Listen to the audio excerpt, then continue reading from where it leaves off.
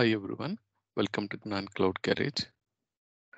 In this session, I'm going to talk about what are the VMware vSphere administrator task level 1, level 2, level 3 activities. Okay, so before jump into the actual concept, let's quickly Uh, recap our previous session. We talk about whenever we are planning to do any of the administrative task, it's divided into the four parts. Day zero, day one, day two, and day n.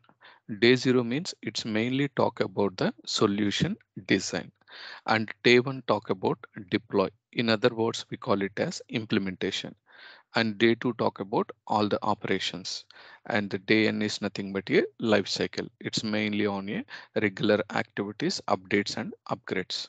Okay, so when comes to the day zero solution design, when specifically if we talk about VMware, we, we are receiving the main task, sir, ESXi install, configure, and management. Uh, normally, we can start with the ESXi installation. Either it is a small scale organization, medium scale, or large scale. Generally, first we can deploy the ESXi host on a bare metal or sometime we may use a blade servers or we may use a rack mount servers. Once we install the ESXi server, we have to configure the networking, storage, and we can manage the single ESXi host also. Whenever we're ready with one ESXi host, we can start with a vCenter server installation because vCenter server it allows to manage multiple ESXi hosts. So even we can create vCenter on a ESXi host as a virtual machine. And uh, once we install the vCenter, we can configure the vCenter and manage the vCenter. And within the vCenter, we have plenty of features, uh, more than 30 plus features uh, I already covered in our previous sessions. So if you're interested, you can go through our uh, YouTube channel Agnan Cloud Garage, go to the playlist and just find your vSphere 7 and 8 all the video sequences. Okay, and within the vSphere features, we can use mainly HA DRS. These are the main key features to maintain the high availability and load balancing for our ESXi host. And also another key activity is virtual machine creation and management and we can also install our project related applications install configure and manage. And some scenarios vsphere administrator will help for the application installation and some scenarios application team will take care of all the application install configure and manage portion. And our responsibility as a vmware administrator we have to perform the updates and upgrades.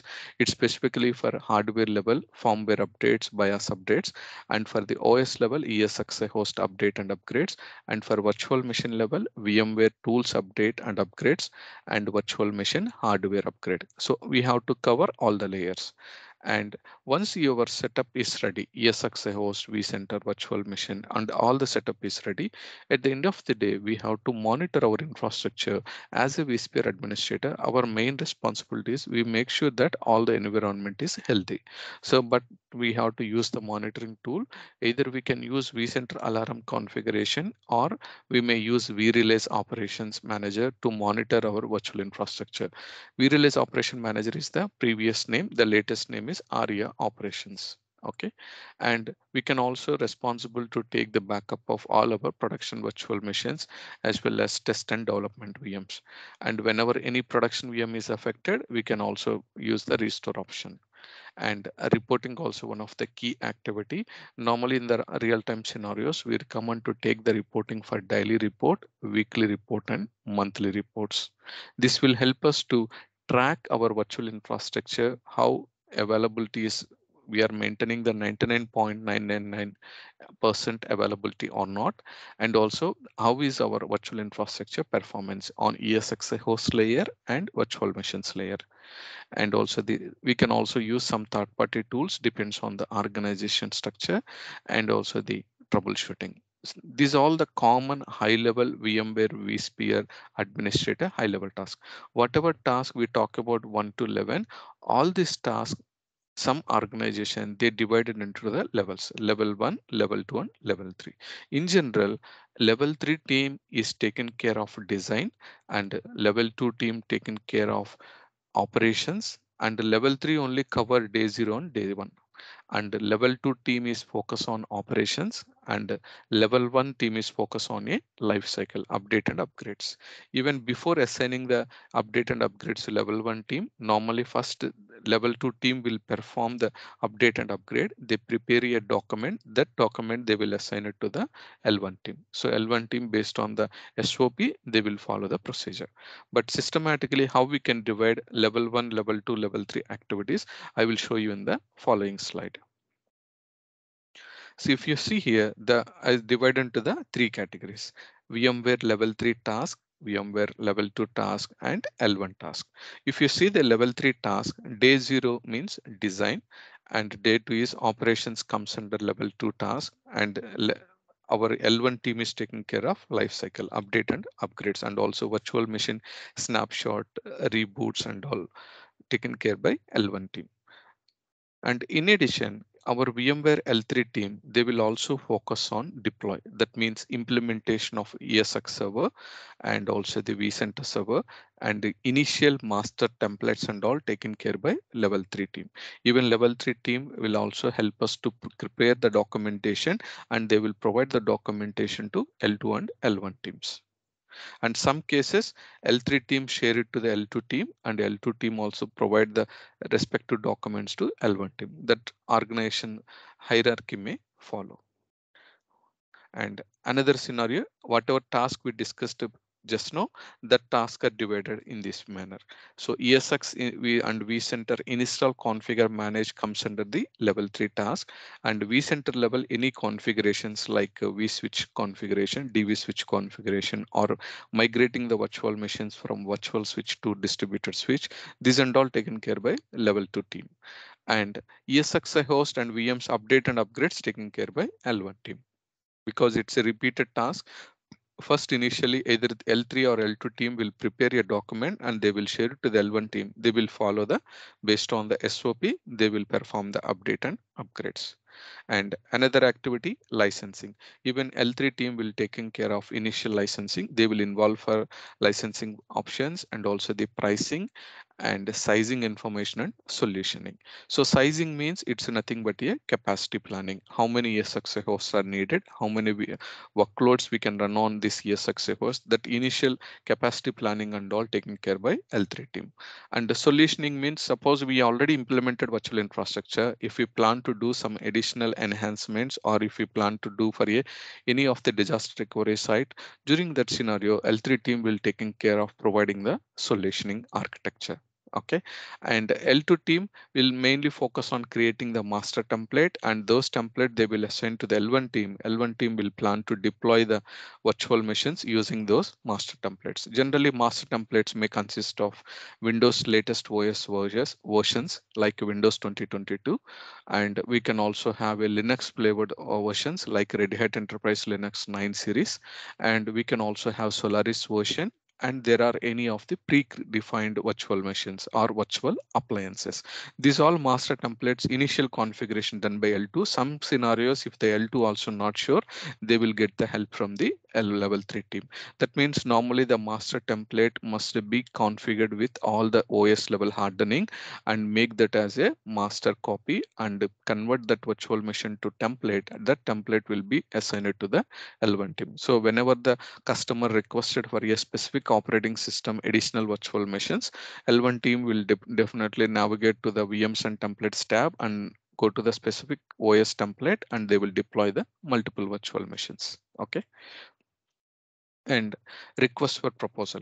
Even L3 team will also involve for a request for proposal. Sometimes the customers may provide a, some new requirements like uh, they already have a existing infrastructure running on a some hardware that hardware is going to uh, going for a tech refresh or they are planning to migrate their virtual machines from tier based applications to they are planning to migrate to cloud native applications like uh, their container based applications. That time also customer may provide some request for proposal RFPs. Those RFPs also L3 team will take care. Some organization they may have a separate uh, solution architect team that they will also taking care of RFPs. But solution architect team when they are planning to work on a existing project, they will definitely they will contact the level three team to get the infrastructure information. Okay, and They will also focus on resource L2 team focus on resource pool creation and configuration and L1 team will do on some of the other options like vMotion, virtual machine snapshot. Normally before we applying the patches, we need to create a snapshot and also whenever customer is planning for any OS level upgrade, it's recommend to create a clone copy, offline clone. And also sometimes we may receive the, some regular requests like CPU increase, memory increase or disk increase. Those kind of disk resizing is also taken care by L1 team and automation. So L3 team, once the project implementation is design and implementation is completed, most of the time they will look for a whatever the task our L2 and L1 is repeatedly doing, those repeated tasks they will plan to do for a automation. So some scenarios they may use some third party external automation tools or if we plan to use the VMware automation tool, we may prefer to use vRealize automation, VRA. That is the previous name, but the latest name is ARIA automation. Either if you use ARIA automation tool to automate all our day-to tasks okay and Day2 team also will focus on schedule task and alert configuration and L1 team they will taking care of initial handling the performance issue. Whenever the customer raised any incident initial request will go to the L1 team. Some scenarios L1 team may able to resolve the issue. If they are unable to resolve they will escalate it to L2 team and L2 team most of the time they will fixed at the L2 team level. Some cases still issue is pending at the L2 level, they will escalate it to level 3 team. Okay. And L3 team, another key responsibility is they will also do the knowledge transfer whenever they perform the design and implementation, all the process is completed, they will do the knowledge transfer to L2 and L1.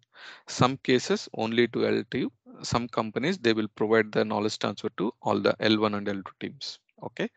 And L2 team also, they will focus on projects like migrations if they plan to do the physical to virtual migration or any of the application level migrations and tech refresh L2 team will involve and L1 team will focus on VMware reporting. Like uh, we have to prepare the reporting for weekly reporting monthly reporting is must and some organization they will also maintain a some daily checklist reporting also. This and all to verify that make sure our infrastructure is healthy okay? So reporting is very important. And finally last but not the least troubleshooting scenarios. So as i mentioned the most of the initial troubleshooting taken care by l1 some cases if the l1 is unable to resolve those troubleshooting whatever the vmware virtual infrastructure issues those issues it will be escalated to l2 team. So l2 team will take care the whatever the L1 unable to resolve, those issues L2 team will take care. Some scenarios, if L2 also unable to resolve, they will escalate it to L3 team. So most of the time issue will be resolved at L3 level, but some again, there are some possibilities. There is a product bug or some driver may required during that scenario we have to contact the vmware technical support team so if the l3 team also busy L3 team will give the instruction to L2 team directly straight away raise the request to the VMware. That is also possible. But most of the time, L1 team escalated to L2 and L2 will try to resolve. If they are unable to resolve, they will contact L3. With help of L3, some issues may resolve. If any of the issue is unable to resolve, they will raise a request to the VMware technical support team. Okay, so this is the high level overview of what are all the tasks assigned for the level one team, level two team and level three team. Okay, hope you got a clear picture of how the tasks are divided into the all the levels. Okay, so that's it for today. Thank you. If you're watching this video first time, please do view, like, share, and subscribe to the Gnan Cloud Garage channel. If you're already subscribed, I appreciate all your support. Bye for now.